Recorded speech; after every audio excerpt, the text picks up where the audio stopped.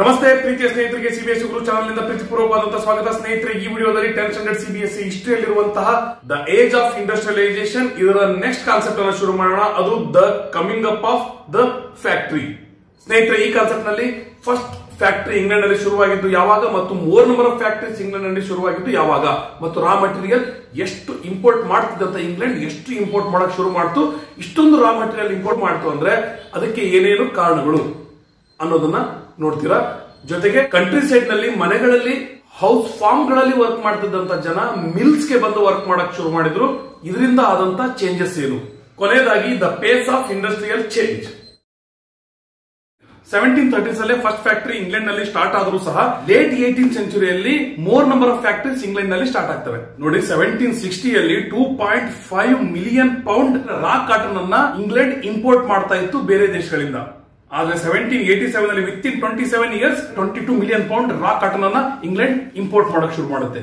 This increase was linked to number of changes within the process of production ಅಂದ್ರೆ ಈ change ಎದರಿಂದ ಆಯ್ತು ಅಂದ್ರೆ process of production ಅಲ್ಲಿ ಬಹಳಷ್ಟು ಚೇಂಜ್ ಆಯಿತು. ಅದರಿಂದ ಈ ರೀತಿ ಟೂ ಪಾಯಿಂಟ್ ಫೈವ್ ಮಿಲಿಯನ್ ಇದ್ದಿದ್ದು ಕೇವಲ ಇಪ್ಪತ್ತೇಳು ವರ್ಷದಲ್ಲಿ ಟ್ವೆಂಟಿ ಟೂ ಮಿಲಿಯನ್ಗೆ ಬಂತು. ಇಂಪೋರ್ಟ್ ಆಫ್ ರಾ ಕಾಟನ್ ನೋಡಿ ಇಂಪೋರ್ಟ್ ಆಫ್ ರಾ ಕಾಟನ್ ಬಹಳ ಇದೆ ಅಂದ್ರೆ ಪ್ರೊಡಕ್ಷನ್ ಬಹಳ ಇದೆ ಅಂತ. Why import of raw cotton increase more ಅಂತ ಬಂತಂದ್ರೆ ನೀವೇನ್ ಬರೀಬಹುದು ಅಂದ್ರೆ in each stage of production new inventions were utilised ಅಂದ್ರೆ ಎಲ್ಲಾ ಸ್ಟೇಜ್ ಆಫ್ ಪ್ರೊಡಕ್ಷನ್ ಅಲ್ಲಿ ಹೊಸ ಹೊಸ ಇನ್ವೆನ್ಷನ್ಸ್ ಅನ್ನ, ಹೊಸ ಹೊಸ ಮಷಿನ್ಸ್ ಅನ್ನ ಯೂಸ್ ಮಾಡ್ಕೊಂಡಿದ್ದಕ್ಕೆ ಏನಾಯ್ತು? ವರ್ಕ್ ಬಹಳ ಫಾಸ್ಟ್ ಆಗಕ್ ಶುರುವಾಯಿತು. ಪ್ರೊಡಕ್ಷನ್ ಬಹಳ ಕ್ವಾಲಿಟಿ ಬರಕ್ ಶುರುವಾಯಿತು. ಈಚ್ ಸ್ಟೇಜ್ ಆಫ್ ಪ್ರೊಡಕ್ಷನ್ ಅಂದ್ರೆ ಅದು ಕಾರ್ಡಿಂಗ್ ಇರ್ಬೋದು ಟ್ವಿಸ್ಟಿಂಗ್ ಇರ್ಬೋದು ಸ್ಪಿನ್ನಿಂಗ್ ಇರ್ಬೋದು ರೋಲಿಂಗ್ ಇರ್ಬೋದು. ಇಲ್ಲಿ ಕಾರ್ಡಿಂಗ್ ಅನ್ನೋ ಒಂದು ಹೊಸ ವರ್ಡ್ ನಿಮಗೆ ಬಂದಿದೆ. ಆ ಕಾರ್ಡಿಂಗ್ ಅಂದ್ರೆ ಏನು ಅಂದ್ರೆ ಸ್ಪಿನ್ನಿಂಗ್ ಮಾಡ್ತಾರಲ್ಲ, ಅದಕ್ಕಿಂತ ಮೊದಲು ಈ ಫೈಬರ್ ಅನ್ನ ಪ್ರಿಪೇರ್ ಮಾಡ್ಕೊಳ್ಳೋದಕ್ಕೆ ಕಾರ್ಡಿಂಗ್ ಅಂತಾರೆ. ಈ ರೀತಿ ಕಾರ್ಡಿಂಗ್ ಟ್ವಿಸ್ಟಿಂಗ್ ಸ್ಪಿನ್ನಿಂಗ್ ರೋಲಿಂಗ್ ಇವೆಲ್ಲಾ ಹಂತಗಳಲ್ಲೂ ಸಹ ಇನ್ವೆನ್ಷನ್ಸ್ ಅನ್ನ ಬಳಸಿದ್ರಿಂದ ಪ್ರತಿಯೊಬ್ಬ ವರ್ಕರ್ ಮೊದಲಿಗಿಂತ ಹೆಚ್ಚು ಪ್ರೊಡಕ್ಷನ್ ಅನ್ನ ಮಾಡೋದಕ್ಕೆ ಅನುಕೂಲ ಆಯಿತು. ಜೊತೆಗೆ ಕ್ವಾಲಿಟಿ ಯಾವ ರೀತಿ ಇಂಪ್ರೂವ್ ಆಯ್ತು ಅಂದ್ರೆ quality of yarn and thread ಇದು ಮೊದಲಿನಕ್ಕಿಂತ ಬಹಳ ಒಳ್ಳೆ ಕ್ವಾಲಿಟಿ ಬರೋಕ್ ಶುರುವಾಯಿತು ಇದೇ ಸಮಯಕ್ಕೆ Richard Arkwright first cotton mill ಅನ್ನ ಸೆಟಪ್ ಮಾಡ್ತಾರೆ. ಈ ರೀತಿ ಆಗಿದ್ರಿಂದ ಬಹಳ ಫಾಸ್ಟ್ ಆಗಿ ಕಡಿಮೆ ಟೈಮ್ನಲ್ಲಿ ಒಳ್ಳೆಯ ಕ್ವಾಲಿಟಿಯ ಪ್ರೊಡಕ್ಷನ್ ಅನ್ನ ಮಾಡೋದಕ್ಕೆ ಅನುಕೂಲ ಆಯಿತು. ಅದಕ್ಕೋಸ್ಕರನೇ ಅಷ್ಟರ ಮಟ್ಟಿಗೆ two point five million pound raw cotton ಅನ್ನ import ಮಾಡ್ತಿದ್ದಂತ England twenty two million pound raw cotton ಅನ್ನ ಇಂಪೋರ್ಟ್ ಮಾಡುತ್ತೆ ಅಂದ್ರೆ ಎಷ್ಟರ ಮಟ್ಟಿಗೆ ಪ್ರೊಡಕ್ಷನ್ ಹೆಚ್ಚಾಗಿರ್ಬೋದು. ಅದಕ್ಕೆ ಕಾರಣ ಸೀರೀಸ್ ಆಫ್ ಇನ್ವೆನ್ಷನ್ಸ್ ಅನ್ನ ಪ್ರತಿ ಸ್ಟೇಜ್ ಅಲ್ಲೂ ಹಾಕಿದ್ದು ಜೊತೆಗೆ ಪರ್ ವರ್ಕರ್ ಔಟ್ಪುಟ್ ಕೆಪಾಸಿಟಿ ಹೆಚ್ಚಾಗಿದ್ದು ಮುಖ್ಯವಾದಂತ ಕಾರಣ. ಈ ರೀತಿ ಇನ್ವೆನ್ಷನ್ಸ್ ಆದ್ರಿಂದ ಏನಾಯ್ತು ಅಂದ್ರೆ ಈ ಕಾಸ್ಟ್ಲಿ ಮಷಿನ್ಸ್ ಅನ್ನ ಪರ್ಚೇಸ್ ಮಾಡಬಹುದಾಯ್ತು ಅದನ್ನ ಒಂದ್ ಕಡೆ ಸೆಟಪ್ ಮಾಡಬಹುದಾಯ್ತು ಜೊತೆಗೆ ಒಂದೇ ರೂಫ್ ಅಂಡರ್ನಲ್ಲಿ ಬೇರೆ ಬೇರೆ process of production ಏನಿದ್ವು? Carding twisting spinning rolling weaving dyeing ಇವೆಲ್ಲವನ್ನು ಒಂದೇ ರೂಫಿನ ಕೆಳಗಡೆ ಮಾಡಿದಾಗ ಇದಕ್ಕಿಂತ ಮೊದಲು ಜನ ಅವರವರ ಮನೆಗಳಲ್ಲಿ, ಅವರವರ ಚಿಕ್ಕ ಚಿಕ್ಕ ಫಾರ್ಮ್ಗಳಲ್ಲಿ ಮಾಡ್ತಾ ಇದ್ದಂತ ಕೆಲಸಗಳನ್ನ ಒಂದೇ ರೂಫ್ನ ಅಂಡರ್ನಲ್ಲಿ ಮಾಡೋಕೆ ಶುರುವಾದಾಗ ಏನಾಯ್ತು? ಈ ಎಲ್ಲಾ ವರ್ಕ್ ಗಳನ್ನ ಸೂಪರ್ವೈಸ್ ಮಾಡೋದಕ್ಕೆ ಅನುಕೂಲ ಆಯ್ತು. When all the process of production establish under one roof what were its impacts ಅಂತ ಅಂದ್ರೆ ನೀವ್ ಏನ್ ಬರೀಬೇಕಂದ್ರೆ ಫಸ್ಟ್ ಒಂದೇ ರೂಫ್ ನಡಿಯಲ್ಲಿ ಮಾಡಿದಾಗ ಎಲ್ಲ ಪ್ರೊಸೆಸ್ ಆಫ್ ಪ್ರೊಡಕ್ಷನ್ ಅನ್ನ ಸೂಪರ್ವಿಷನ್ ಅನ್ನ ಮಾಡೋದು ಸುಲಭ ಆಯ್ತು ಎರಡನೇದು ಎ ವಾಚ್ ಓವರ್ ಕ್ವಾಲಿಟಿ ಅಂದ್ರೆ ಕ್ವಾಲಿಟಿ ಹಿಂಗೆ ಇರಬೇಕು ಅಂತ ಅದ್ರ ಮೇಲೂ ಸಹ ಕಂಟ್ರೋಲ್ ಇಟ್ಕೊಳ್ಬಹುದಾಗಿತ್ತು. ನಂತರ ಲೇಬರರ್ಸ್ ಮೇಲೆ ರೆಗ್ಯುಲೇಷನ್ಸ್ ಅನ್ನ ಹಾಕಕ್ ಶುರು ಮಾಡಿದ್ರು. ಈಗ ಒಂದೇ ರೂಫ್ ನಡಿಯಲ್ಲಿ ಎಲ್ಲಾ ಲೇಬರರ್ಸ್ ವರ್ಕ್ ಮಾಡಕ್ ಬರಬೇಕು ಅಂದ್ರೆ ಅವರ ಹೌಸ್ ಹೋಲ್ಡ್ ಫಾರ್ಮ್ಸ್ಗಳಲ್ಲಿ ಮಾಡುವಾಗಿಲ್ಲ ಇಲ್ಲೇ ಬಂದು ಇಲ್ಗಳಲ್ಲಿ ಫ್ಯಾಕ್ಟರಿಗಳಲ್ಲಿ ಬಂದು ವರ್ಕ್ ಮಾಡೋದ್ರಿಂದ ಅವ್ರ ಮೇಲೆ ರೂಲ್ಸ್ ಅಂಡ್ ರೆಗ್ಯುಲೇಷನ್ಸ್ ಅನ್ನ ಇಂಪೋಸ್ ಮಾಡಿ ವರ್ಕಿಂಗ್ ಅವರ್ಸ್ ಅಥವಾ ಇಷ್ಟೇ ಸ್ಯಾಲರಿ ಮತ್ತು ಎಕ್ಸ್ಪ್ಲೈಟ್ ಮಾಡೋದು ಇಂಥವೆಲ್ಲವೂ ಶುರುವಾಯಿತು. ಈ ರೀತಿ ಫ್ಯಾಕ್ಟರಿಗಳು ಹೆಚ್ಚಾದವು. ಆದ್ರೆ ಅದೇ ಸಮಯದಲ್ಲಿ ಎಲ್ಲಾ ವರ್ಕ್ ಫ್ಯಾಕ್ಟರಿಯಲ್ಲೇ ಆಗ್ತಾ ಇದ್ದಿಲ್ಲ. Only twenty percent of the workers industrial labourers were working in factories remaining were working not in big factories or mills ಆದ್ರೂ ಸಹ ಯಾವಾಗ್ಲಾದ್ರೂ ಆ ಟೈಮಿನ ಬಗ್ಗೆ ಇಂಡಸ್ಟ್ರಿಯಲ್ ರೆವಲ್ಯೂಷನ್ ಬಗ್ಗೆ ಎಕ್ಸ್ಪ್ರೆಸ್ ಮಾಡ್ತಾರೆ ಅಂದ್ರೆ ಇಂಡಸ್ಟ್ರಿಯಲ್ ರೆವಲ್ಯೂಷನ್ ಅಂದ್ರೆ ಫ್ಯಾಕ್ಟರಿ ವರ್ಕ್ ಮತ್ತು ಫ್ಯಾಕ್ಟರಿಯ ಪ್ರೊಡಕ್ಷನ್ ಅನ್ನೋ ರೀತಿ ಡೆಪಿಕ್ಟ್ ಮಾಡ್ತಾ ಇದ್ರು. ಆದ್ರೆ ಇದೇ ಸಮಯದಲ್ಲಿ only twenty percentage of people were working in factories ಉಳಿದಂತ ಎಲ್ಲ ಜನ ವರ್ಕ್ ಮಾಡ್ತಿದ್ದಂಥದ್ದು ಕೇವಲ ಈ ಹಳ್ಳಿಗಳಲ್ಲಿ ಇದ್ದಂತ ಹೌಸ್ ಹೋಲ್ಡ್ ಇಂಡಸ್ಟ್ರಿಗಳಲ್ಲಿ ಕಂಟ್ರಿ ಸೈಡ್ ನಲ್ಲೇ ಹೆಚ್ಚು ಪ್ರೊಡಕ್ಷನ್ ನಡೀತಾ ಇದ್ರು ಸಹ ಅದನ್ನ ನೆಗ್ಲೆಕ್ಟ್ ಮಾಡ್ತಾ ಇದ್ರು. ಇಂಡಸ್ಟ್ರಿಯಲೈಸೇಷನ್ ಆದ ತಕ್ಷಣ ಫ್ಯಾಕ್ಟರಿ ಇಂಡಸ್ಟ್ರೀಸ್ ಅನ್ನೋಷ್ಟರ ಮಟ್ಟಿಗೆ ಕನ್ಸಿಡರ್ ಮಾಡ್ತಾ ಇದ್ರು. ಸ್ನೇಹಿತರೆ ಈಗ the pace of industrial change ಈ ಕಾನ್ಸೆಪ್ಟ್ನ ಲಾಸ್ಟ್ ಪಾರ್ಟ್ ಅದನ್ನು ನೋಡೋಣ. ಇಲ್ಲಿ ನಾವು ನೋಡುವಂತದ್ದು ಪ್ರಮುಖವಾಗಿ ಎರಡು ಪ್ರಶ್ನೆಗಳಿಗೆ ಅಥವಾ ಮೂರು ಪ್ರಶ್ನೆಗಳಿಗೆ ಉತ್ತರ. ಒಂದನೇದೇನಂದ್ರೆ how rapid was the process of industrialisation ಎಷ್ಟು ರ್ಯಾಪಿಡ್ ಆಗಿ ಇಂಡಸ್ಟ್ರಿಯಲೈಸೇಷನ್ ಆಗ್ತಾ ಇತ್ತು? ಎರಡನೆಯದು ಇಂಡಸ್ಟ್ರಿಯಲೈಸೇಷನ್ ಅಂದ್ರೆ ಕೇವಲ ಫ್ಯಾಕ್ಟರಿ ಇಂಡಸ್ಟ್ರೀಸ್ ಗ್ರೋಥ್ ಅನ್ನುವಂಥದ್ದು. ಸ್ನೇಹಿತರೆ, ಈಗ the pace of industrial change ಇದ್ರ ಬಗ್ಗೆ ತಿಳ್ಕೊಳ್ಳೋಣ. ಇಲ್ಲಿ ನೀವು ಮುಖ್ಯವಾಗಿ ನಾಲ್ಕು ಪಾಯಿಂಟ್ಸ್ ಅನ್ನ ಮಾಡ್ಕೊಳ್ಬಹುದು ಯಾವ ಅಂದ್ರೆ, ಒಂದನೇದು the most dynamic industries in Britain ಅವು ಯಾವ? ಕಾಟನ್ ಟೆಕ್ಸ್ಟೈಲ್ ಮತ್ತು ಐರನ್ ಅಂಡ್ ಸ್ಟೀಲ್ ಎರಡನೇದು ಏನಂದ್ರೆ new industries could not displace old and traditional industries ಮೂರನೇದು ಏನಂದ್ರೆ small innovation for the basis of growth in non mechanised industries ನಾಲ್ಕನೇದು ಏನಂದ್ರೆ technological changes occurred slowly ಇದರ ನಂತರ why industrialist and merchants in the nineteen century prefer hand labour over machines. ಇದು ಐದನೆಯ ಮತ್ತು separate ಆಗಿ ಕ್ವಶನ್ ಎಕ್ಸಾಮ್ನಲ್ಲಿ ಕೇಳಬಹುದಾದಂತ ಪಾರ್ಟ್ ಬನ್ನಿ ಸ್ನೇಹಿತರಿಗೆ the pace of industrial change ಇದನ್ನು ಮಾಡ್ಕೊಳ್ಳೋಣ. ಯಾವುದು first point the most dynamic industries industrial ರೆವಲ್ಯೂಷನ್ನಲ್ಲಿ most dynamic industries ಅಂದ್ರೆ ಫಸ್ಟ್ ಕಾಟನ್ ಟೆಕ್ಸ್ಟೈಲ್ ಇಂಡಸ್ಟ್ರಿ ಇದು ಫಸ್ಟ್ ಫೇಸ್ ಆಫ್ ಇಂಡಸ್ಟ್ರಿಯಲ್ ರೆವಲ್ಯೂಷನ್ನಲ್ಲಿ ಏಟೀನ್ ಫಾರ್ಟಿ ವರೆಗೂ ಸಹ ಇದು ಲೀಡ್ ಮಾಡ್ತಾ ಇತ್ತು. ಇದೇ ಬಹಳ ಮುಖ್ಯವಾಗಿ ಡೆವಲಪ್ ಆಗ್ತಾ ಇತ್ತು. ಏಯ್ಟೀನ್ ಫಾರ್ಟೀಸ್ ನಂತರ iron and steel industry develop ಆಗಕ್ಕೆ ಶುರುವಾಯಿತು. ಸ್ನೇಹಿತರೆ ಏಟೀನ್ ಫಾರ್ಟಿ ವರೆಗೂ cotton textile industry leading industry ಆಗಿತ್ತು. ಇದೇ ಬಹಳಷ್ಟು ವೇಗವಾಗಿ ಡೆವಲಪ್ ಆಗ್ತಾ ಇತ್ತು. ಅದು ಏಟೀನ್ ಫಾರ್ಟೀಸ್ ನಂತರ ಐರನ್ ಅಂಡ್ ಸ್ಟೀಲ್ ಇಂಡಸ್ಟ್ರಿ ಸಹ ಡೆವಲಪ್ ಆಗಕ್ಕೆ ಶುರುವಾಯಿತು. ಯಾಕಂದ್ರೆ ಏಟೀನ್ ಫಾರ್ಟೀಸ್ನಲ್ಲಿ ಇಂಗ್ಲೆಂಡ್ನಲ್ಲಿ ರೈಲ್ವೆ ಎಕ್ಸ್ಪೆನ್ಷನ್ ಆಗ್ತಾ ಹೋಗುತ್ತೆ. ಏಟೀನ್ ಸಿಕ್ಸ್ಟೀಸ್ ಅಲ್ಲಿ ಇಂಗ್ಲೆಂಡ್ ಕಾಲನೀಸ್ ಮಾಡಿತ್ತಲ್ಲ.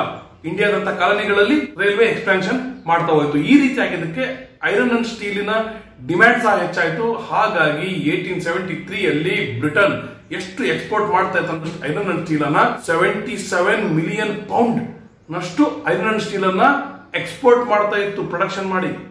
ಇದು ಕಾಟನ್ ಟೆಕ್ಸ್ಟೈಲ್ ಇಂಡಸ್ಟ್ರಿಯ ಡಬಲ್ ವ್ಯಾಲ್ಯೂ ಅಂದ್ರೆ cotton textile industry eighteen forty ವರೆಗೂ ಇದೇ ಫಸ್ಟ್ ಫೇಸ್ನಲ್ಲಿ ಮೋಸ್ಟ್ ಡೆವಲಪಿಂಗ್ ಇತ್ತು. ಆದ್ರೆ ಏಟೀನ್ ಫಾರ್ಟಿ ನಂತರ ಕಾಟನ್ ಟೆಕ್ಸ್ಟೈಲ್ ಇಂಡಸ್ಟ್ರಿನೂ ಸಹ ಹಿಂದಾಕಿ ಅದು ಡಬಲ್ ಪ್ರೊಡಕ್ಷನ್ ಮಾಡಿ ಎಕ್ಸ್ಪೋರ್ಟ್ ಸಹ ಮಾಡುವಷ್ಟರ ಮಟ್ಟಿಗೆ iron and steel industry develop ಆಯಿತು. ಇದು first point the phase of industrial change ಅಲ್ಲಿ ಎರಡನೆಯ ಪಾಯಿಂಟ್ ಏನು ಅಂದ್ರೆ the new industries could not displace the traditional industries ಅಂದ್ರೆ ಹೊಸದಾಗಿ ಬಂದಂತ ಇಂಡಸ್ಟ್ರಿಗಳು ಓಲ್ಡ್ ಅಥವಾ ಟ್ರೆಡಿಷನಲ್ ಇಂಡಸ್ಟ್ರಿಗಳನ್ನ ಕಂಪ್ಲೀಟ್ ಆಗಿ ತೆಗೆದು ಹಾಕಕ್ಕಾಗಲಿಲ್ಲ ಯಾಕಂದ್ರೆ only twenty percent work force was working in new industries ಆದ್ರೆ ಓಲ್ಡ್ ಟ್ರೆಡಿಷನಲ್ ಇಂಡಸ್ಟ್ರೀಸ್ ಅಲ್ಲಿ ಏಟಿ ಪರ್ಸೆಂಟ್ ಪೀಪಲ್ ವರ್ಕ್ ಮಾಡ್ತಾ ಇದ್ರು. ಇದು ಎರಡನೆಯ ಪಾಯಿಂಟ್ ಈಗ the pace of industrial change ಅಲ್ಲಿರುವಂತಹ ಮೂರನೇ ಪಾಯಿಂಟ್ ಏನಂದ್ರೆ the pace of change in traditional ಅಥವಾ ನಾನ್ ಮೆಕನೈಸ್ಡ್ ಇಂಡಸ್ಟ್ರೀಸ್ ಡಿಪೆಂಡ್ ಆಗಿದ್ದು ಸ್ಮಾಲ್ ಇನೋವೇಷನ್ಸ್ ಚಿಕ್ಕ ಚಿಕ್ಕ ಇನೋವೇಷನ್ ಗಳನ್ನ ಬಳಸಿ ನಾನ್ ಮೆಕನೈಸ್ಡ್ ಇಂಡಸ್ಟ್ರಿಗಳಲ್ಲಿ ಗ್ರೋತ್ ಆಗ್ತಾ ಇತ್ತು. ಈ ನಾನ್ ಮೆಕನೈಸ್ಡ್ ಇಂಡಸ್ಟ್ರಿಗೆ ಎಕ್ಸಾಂಪಲ್ ಅಂದ್ರೆ building pottery glass works furniture making ಮುಂತಾದವು. ಈಗ ಪೇಸ್ ಆಫ್ ಇಂಡಸ್ಟ್ರಿಯಲ್ ಚೇಂಜ್ನಲ್ಲಿ ನಾಲ್ಕನೇ ಪಾಯಿಂಟ್ ಏನಂದ್ರೆ technological changes occurred slowly not rapidly ಈ ಟೆಕ್ನಾಲಜಿಕಲ್ ಚೇಂಜಸ್ ಇನ್ವಾಲ್ವ್ ಆಗಿದ್ದು ಬಹಳ ಸ್ಪೀಡ್ ಆಗಿ ಒಂದೇ ಸಾರಿಗೆಲ್ಲ ನಿಧಾನಕ್ಕೆ ಆಗ್ತಾ ಬಂದವು. Why technological changes occurred slowly ಅಂತ ಕೇಳಿ, ಅಥವಾ why industrialist and merchants in the nineteen century preferred hand labour over machines ಈ ರೀತಿನೂ ಸಹ ಎಕ್ಸಾಮ್ನಲ್ಲಿ ಕೇಳುವಂತ ಸಾಧ್ಯತೆ ಬಹಳ ಇರುತ್ತೆ. ಬಹಳ ವರ್ಷ ಈ ಕ್ವಶನ್ನ ಕೇಳಿದ್ದಾರೆ. ಯಾಕೆ ಈ ಇಂಡಸ್ಟ್ರಿಯಲಿಸ್ಟ್ ಅಥವಾ ಮರ್ಚೆಂಟ್ ನೈನ್ಟೀನ್ ಸೆಂಚುರಿಯಲ್ಲಿ ಮಷೀನ್ಗಳು ಬಂದರೂ ಸಹ ಅವುಗಳನ್ನ ಪ್ರಿಫರ್ ಮಾಡ್ತಾ ಇದ್ದಿಲ್ಲ? ಅದ್ರ ಬದಲಾಗಿ ಹ್ಯಾಂಡ್ ಲೇಬರ್ ಅನ್ನೇ ಪ್ರಿಫರ್ ಮಾಡ್ತಾ ಇದ್ರು ಅಂದ್ರೆ ಈ ಮಷಿನ್ಸ್ ಎಂದು ಬಹಳ ಕಾಸ್ಟ್ಲಿ ಇದು ಒಂದನೇದು ಮಷೀನ್ಸ್ ಕಾಸ್ಟ್ಲಿ ಎರಡನೇದು ಮಷಿನ್ಸ್ ಕಾಸ್ಟ್ಲಿ ಇದ್ದಿದ್ರಿಂದ ಇವುಗಳನ್ನು ಬಳಸೋದ್ರ ಬಗ್ಗೆ ಬಹಳ ಕಾಶಿಯಸ್ ಆಗಿ ಥಿಂಕ್ ಮಾಡ್ತಾ ಇದ್ರು ಇಂಡಸ್ಟ್ರಿಯಲಿಸ್ಟ್ಸ್ ಮತ್ತು ಮರ್ಚೆಂಟ್ಸ್ ಈ ಮಷೀನ್ಸ್ಗಳು ಪದೇ ಪದೇ ಬ್ರೇಕ್ ಡೌನ್ ಆಗ್ತಾ ಇದ್ರು ಹಾಳಾಗ್ತಾ ಇದ್ರು ಮತ್ತು ಕಾಸ್ಟ್ ಆಫ್ ರಿಪೇರ್ ಇದು ಸಹ ಬಹಳ ಹೆಚ್ಚಾಗಿತ್ತು. ಜೊತೆಗೆ ಅಲ್ಲಿ ಪಾಪ್ಯುಲೇಷನ್ ಬಹಳ ಇದ್ದಿದ್ರಿಂದ ಕಡಿಮೆ ವೇಜಸ್ಗೆ ವರ್ಕ್ ಮಾಡೋದಕ್ಕೆ ಬಹಳ ಜನ ರೆಡಿನೂ ಇದ್ರು. ಹಾಗಾಗಿ ಏಟೀನ್ ಸೆಂಚುರಿ ಮರ್ಚೆಂಟ್ಸ್ ಮತ್ತು ಇಂಡಸ್ಟ್ರಿಯಲಿಸ್ಟ್ ಹ್ಯಾಂಡ್ ಲೇಬರ್ ಅನ್ನ ಪ್ರಿಫರ್ ಮಾಡ್ತಾ ಇದ್ರು ಮಷೀನ್ ಗಳನ್ನ ಅಲ್ಲ. ಕೊನೆಯದಾಗಿ ಏನಂದ್ರೆ ಮಷೀನ್ಸ್ ಈ ಇನ್ವೆಂಟರ್ಸ್ ಅಥವಾ ಮ್ಯಾನುಫ್ಯಾಕ್ಚರರ್ಸ್ ಎಷ್ಟು ಮಟ್ಟಿಗೆ ಎಫೆಕ್ಟಿವ್ ಇದೆ ಅಂತ ಹೇಳ್ತಾ ಇದ್ರು, ಅಷ್ಟು ಮಟ್ಟಿಗೆ ಎಫೆಕ್ಟಿವ್ ಇದ್ದಿಲ್ಲ. ಹಾಗಾಗಿ nineteen century industrialist and merchants machines ಗಳನ್ನ ಪ್ರಿಫರ್ ಮಾಡ್ತಾ ಇದ್ದಿಲ್ಲ ಹ್ಯಾಂಡ್ ಲೇಬರ್ಸ್ ಅನ್ನೇ ಪ್ರಿಫರ್ ಮಾಡ್ತಾ ಇದ್ರು. ಇದು ನಿಮಗೆ ಸರಿಯಾಗಿ ಅರ್ಥ ಆಗಿದೆ ಅನ್ಕೊಂಡಿದ್ದೀನಿ ಅದನ್ನ ಅರ್ಥ ಮಾಡ್ಕೊಳ್ಳೋಕೋಸ್ಕರ ಒಂದು ಎಕ್ಸಲೆಂಟ್ ಎಕ್ಸಾಂಪಲ್ ಕೊಟ್ಟಿದ್ದಾರೆ. ಅದು ಅಂತ ಇಂಥ ಎಕ್ಸಾಂಪಲ್ ಅಲ್ಲ, ಒಂದು ಇನ್ವೆನ್ಷನ್ ಆ ಇನ್ವೆನ್ಷನ್ನಿಂದ ಲೇಬರರ್ಸ್ನ ಪ್ರೊಡಕ್ಟಿವಿಟಿ ಮೆನಿ ಫೋಲ್ಡ್ಸ್ ಹೆಚ್ಚಾಯಿತು. ಅಂತಹ ಅದ್ಭುತವಾದಂತಹ ಇನ್ವೆನ್ಷನ್ ಅನ್ನು ಸಹ ಬಹಳ ಬೇಗ ಬೇಗನೆ ಯಾರು ಪರ್ಚೇಸ್ ಮಾಡಲಿಲ್ಲ. ಅದು ಸಹ ಹೆಚ್ಚು ಬಳಕೆಯಲ್ಲಿ ಬರಲಿಲ್ಲ. ಆ ಇನ್ವೆನ್ಷನ್ ಯಾವುದು ಅಂದ್ರೆ, ಆ ಮಷಿನ್ ಯಾವುದು ಅಂದ್ರೆ ಸ್ಟೀಮ್ ಎಂಜಿನ್ ನ್ಯೂ ಕೋಮನ್ ಅನ್ನುವಂಥವ್ರು ಈ ಸ್ಟೀಮ್ ಎಂಜಿನ್ ಅನ್ನ ಪ್ರೊಡ್ಯೂಸ್ ಮಾಡಿದ್ರು, ನಂತರ ಇದನ್ನ ಜೇಮ್ಸ್ ವ್ಯಾಟ್ ಇಂಪ್ರೂವ್ ಮಾಡಿದ್ರು. ಸೆವೆಂಟೀನ್ ಏಟಿ ಒನ್ ಅಲ್ಲೇ ಇದರ ಪೇಟೆಂಟ್ ಸಹ ತಗೊಂಡ್ರು. ಇವರು ಪೇಟೆಂಟ್ ಅನ್ನ ತಗೊಂಡ ನಂತರ ಇವರ ಇಂಡಸ್ಟ್ರಿಯಲಿಸ್ಟ್ ಫ್ರೆಂಡ್ ಮ್ಯಾಥ್ಯೂ ಬೋಲ್ಟನ್ ಅನ್ನುವಂಥವ್ರು ಇದನ್ನ ಪ್ರೊಡ್ಯೂಸ್ ಸಹ ಮಾಡಿದ್ರು. ಆದ್ರೆ ವರ್ಷಗಳ ಕಾಲ ಯಾರು ಸಹ ಇದನ್ನ ಪರ್ಚೇಸ್ ಮಾಡೋದಕ್ಕೆ ಮುಂದೆ ಬರಲಿಲ್ಲ. Nineteen century ಬಿಗಿನಿಂಗ್ನಲ್ಲಿ three hundred and twenty one steam engines ಮಾತ್ರ ಇದ್ವು ಇಂಗ್ಲೆಂಡ್ನಲ್ಲಿ three twenty one steam ಇಂಜಿನ್ಸ್ನಲ್ಲಿ eighty steam engines cotton textile industrial ಇದ್ರೆ nine steam engines wool industrial ಇದ್ವು remaining steam engines iron works mining works ಮತ್ತು canal works ಇದರಲ್ಲಿ ಇದ್ವು. ಆದ್ರೆ ಬಹಳಷ್ಟು ಇಂಡಸ್ಟ್ರಿಗಳಲ್ಲಿ ಬಹಳಷ್ಟು ಪ್ರೊಡಕ್ಷನ್ ಆಕ್ಟಿವಿಟಿಗಳಲ್ಲಿ ಸ್ಟೀಮ್ ಇಂಜಿನ್ಸ್ ಗಳನ್ನ ಬಳಸ್ತಾನೆ ಇದ್ದಿಲ್ಲ. ನೋಡಿ ಸ್ನೇಹಿತರೆ, ಇದು ಎಷ್ಟೊಂದು ಪವರ್ಫುಲ್ ಇನ್ವೆನ್ಷನ್ ಬಹಳಷ್ಟು ಪಟ್ಟು ವರ್ಕರ್ಸ್ನ ಪ್ರೊಡಕ್ಟಿವಿಟಿಯನ್ನು ಹೆಚ್ಚು ಮಾಡಿದಂತ ಇನ್ವೆನ್ಷನ್ ಆದ್ರೂ ಸಹ ಇದು ಬಳಕೆಗೆ ಬಂದಿದ್ದು ಬಹಳ ಅಂದ್ರೆ ಬಹಳ ನಿಧಾನವಾಗಿ. ಹಾಗಾಗಿ ಇಷ್ಟರ ರೆಕಗ್ನೈಸ್ ಮಾಡ್ತಾರೆ ಏನು ಅಂದ್ರೆ a typical worker in mid nineteen century was not a machine operator but the traditional craft person and labourer ಸ್ನೇಹಿತರೆ, ಇದೇ ಸೆಂಟೆನ್ಸ್ ಅನ್ನು ಕೊಟ್ಟು ಬಹಳ ಸಲ justify enumerate highlight the statement ಈ ರೀತಿ ಬಹಳಷ್ಟು ಬಾರಿ ಜನರಲ್ಲಿ ಕೇಳಿದ್ದಾರೆ. ಹಾಗಾಗಿ ದಯವಿಟ್ಟು ಈ ಕ್ವಶನ್ ಅನ್ನ ಸರಿಯಾಗಿ ಅರ್ಥ ಮಾಡ್ಕೊಂಡು ನೆನಪಿಟ್ಕೊಳ್ಳಿ. ಸ್ನೇಹಿತರೆ, ಇದಕ್ಕೆ ಉತ್ತರವನ್ನು ಏನ್ ಬರೀಬಹುದು ಅಂದ್ರೆ ಈಗಾಗಲೇ ಹೇಳಿದ್ನಲ್ಲ, ಯಾಕೆ ಮರ್ಚೆಂಟ್ ಮತ್ತು ಇಂಡಸ್ಟ್ರಿಯಲಿಸ್ಟ್ ಮಷಿನ್ ಗಳನ್ನ ಇಂಟ್ರೊಡ್ಯೂಸ್ ಮಾಡೋದಕ್ಕೆ ಅಷ್ಟೊಂದು ಇಷ್ಟಪಡ್ತಿದ್ದಿಲ್ಲ ಅನ್ನಲ್ಲ, ಆ ಎಲ್ಲ ಪಾಯಿಂಟ್ಸ್ ಅನ್ನ ಸೇರಿಸಬಹುದು ಜೊತೆಗೆ ಈ ಹ್ಯಾಂಡ್ ಮೇಡ್ ವರ್ಕ್ಸ್ಗೆ ಡಿಮ್ಯಾಂಡ್ ಬಹಳ ಇತ್ತು. ಅನ್ನೋದಕ್ಕೂ ಸಹ ನೆಕ್ಸ್ಟ್ ಕಾನ್ಸೆಪ್ಟ್ನಲ್ಲಿ ಒಂದಿಷ್ಟು ಪಾಯಿಂಟ್ಸ್ ಬರ್ತವೆ.